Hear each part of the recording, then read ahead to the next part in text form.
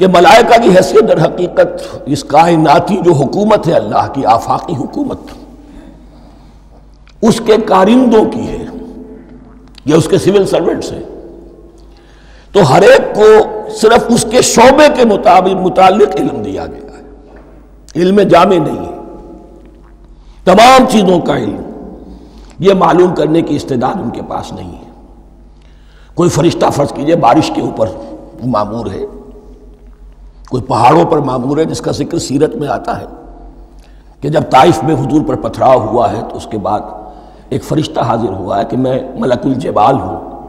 अल्लाह ने मुझे पहाड़ों पर मामूर किया हुआ है। आप अगर फरमाएँ तो जिन लोगों ने आपको सताया है, ये जो ताइफ जिन दो पहाड़ों के दरमियान ये वादी है, इनको आपस में टकरा दो कि ये पिस कर और सुरमा बन जाए। आपने फरमाया, नहीं, क्या जब अल्लाह ताला इनकी अगली नस्लों को हिदायत दे दे।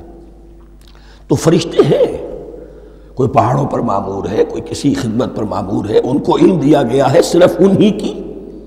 अपनी जो भी फ़राइज मनसबी हैं, उनके शोबे से मुताल कुल नहीं। जामियत जो है इल्म की, वो है कि जो हज़रत आदम आसमाम को पोटेंशली दे दी गई और जो अब बढ़ते बढ़ते एक बहुत तरावर दरख्त बन चुका सुबह तना इन आप ही की ज़ात है जो कुल के कुल इल्म की हामिल है और जिसके ऊपर हिकमत भी, जिसकी हिकमत भी काबिल है। बाकी तो हर मखलूक में से हर एक का इल्म नाकिस रहेगा। अलीम, कुल इल्म का जानने वाला तो तू ही है। अल हकीम, कुल हिकमत, वो तो तेरे ही पास है। काल आदम अम्बे हम बेसमाहिम अल्लाह ने फरमाया कि आदम इनको बताओ इनके नाम फलम्मा अम्बा हम बेसमाहिम तो जब उन्होंने बता दिए उनको फरिश्तों को उनके नाम काल आलमकुल्लकमिनी आलम गैबसमावात तो अल्लाह ने फरमाया क्या मैंने कहा नहीं था कि मैं जानता हूँ आसमानों और ज़मीन की तमाम गायब चीज़ों को जो तुम्हारी निगाहों से भी ओझल है गैब मैं हर शय का जानने वाला हूँ। आलम मा तुबदूना व मा कुन तुम तक तुमून और मैं जानता हूँ जो कोई तुम ज़ाहिर कर रहे थे और जो कोई तुम छुपा रहे थे।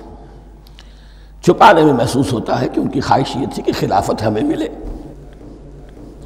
हम खुदाम अदब हैं। हर वक्त तस्बीह व तहमीद और तकदीस में मसरूफ़ हैं।